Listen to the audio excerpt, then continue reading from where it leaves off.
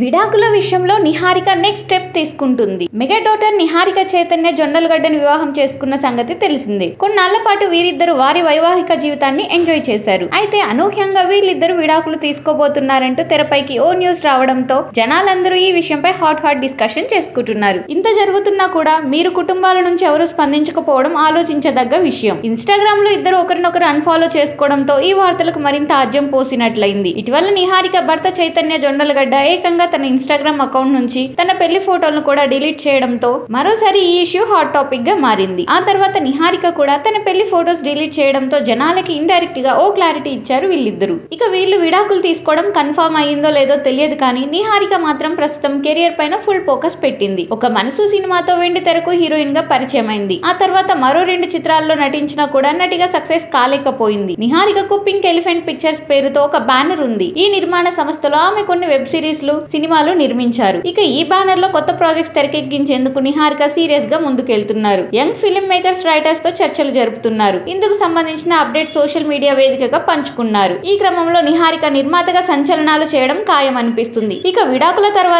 నిర్మాతగా తన సత్తా నిరూపించుకోవడం కోసం ఇప్పటి నుంచే సన్నాహాలు చేస్తుందంటూ సోషల్ మీడియాలో రకరకాల వార్తలు గుప్పమంటున్నాయి